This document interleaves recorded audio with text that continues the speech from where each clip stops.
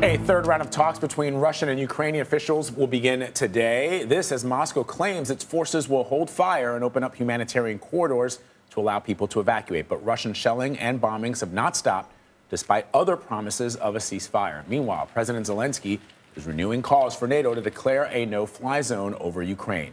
Let's bring in Robert Bell. He is the former defense advisor to the United States, ambassador to NATO. Uh, thank you so much for joining us, sir. Uh, so, Let's first begin uh, with this debate on whether or not the United States and NATO allies should create a no fly zone over Ukraine. Uh, what is your opinion? Do you have some analysts who suggest that that would play right into Vladimir Putin's hands and allow him then to target NATO countries and even the United States? Of course, let's not forget he is the second largest nuclear arsenal in the world. And there are others who say, look, uh, this is uh, the Ukraine has been a staunch ally and partner of NATO and the United States, and this is something that we should do to help them.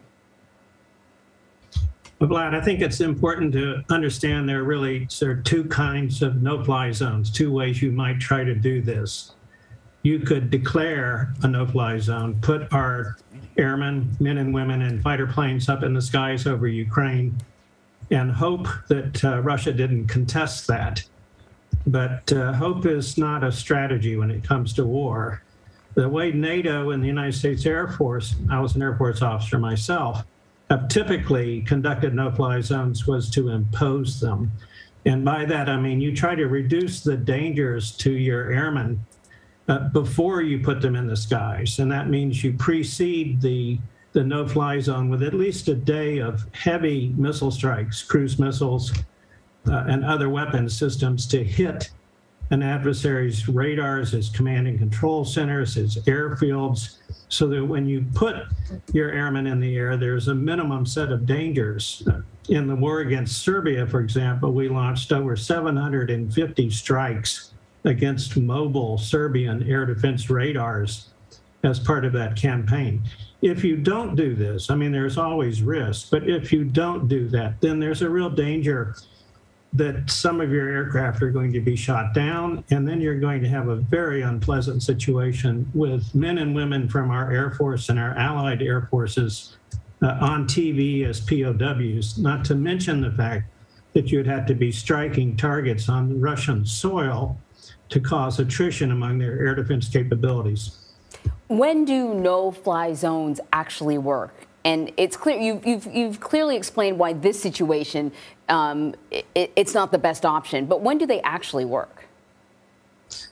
Well, they work best if your enemy's air force has basically been eliminated. Mm. Uh, against uh, Saddam Hussein in Iraq after the first Gulf War, we maintained a no fly zone over parts of uh, Iraq for literally a couple of years. Uh, but ever so often, Saddam Hussein would send an airplane up or turn on a ra- uh, radar and start radiating our aircraft as a prelude to a surface to air missile attack.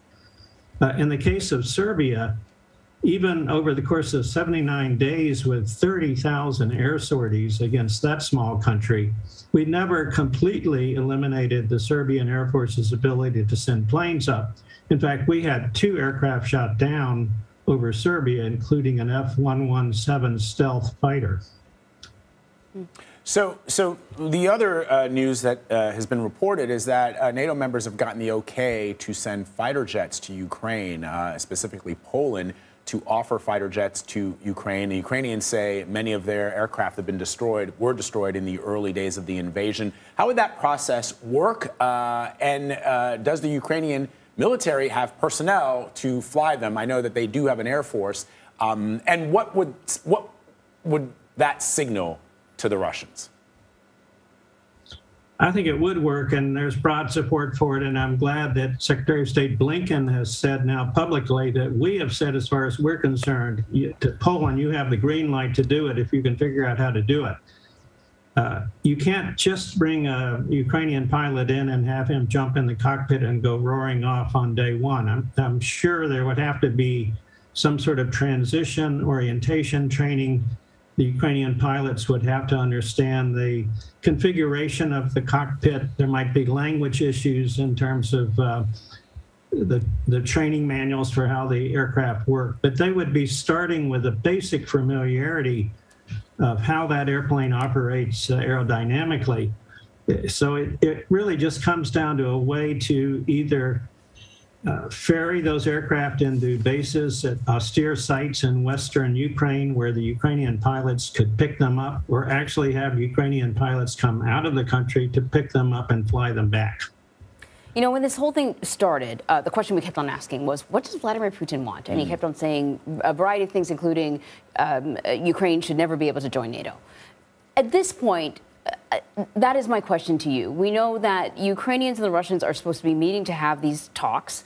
Do you think the talks are sincere on Russia's part? And what is on the table? What could be offered to Vladimir Putin at this point, do you think, to stop all of this? Well, from the Russian side, I think they're sincere only to the extent that Russia would be willing to accept its own maximalist demands, which are totally unacceptable to Ukraine and, of course, to the West. The, as I understand it, the Russians are coming to these talks and saying, we want you to agree to demilitarize your whole country, to become subservient to Russia, and to change your government so that we will be confident that a new Ukrainian government will do what we want.